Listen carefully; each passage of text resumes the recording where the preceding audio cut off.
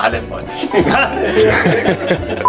Ja, goddag. Øh, så blev det den øh, 10. december, og øh, tid til en ny præmie i vores øh, julekalender. I dag så kan I vinde en AC Horsens merchandise pakke, som I ser her, til værdi af 1000 kroner. Dagens spørgsmål, det er, hvilken tidligere AC Horsens spiller blev Superligans yngste målscorer i 2020?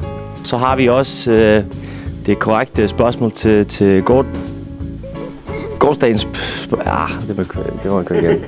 øhm, og så har vi også øh, det korrekte svar på gårdagens spørgsmål. Og det var øh, Gilberto Marcena med 87 mål.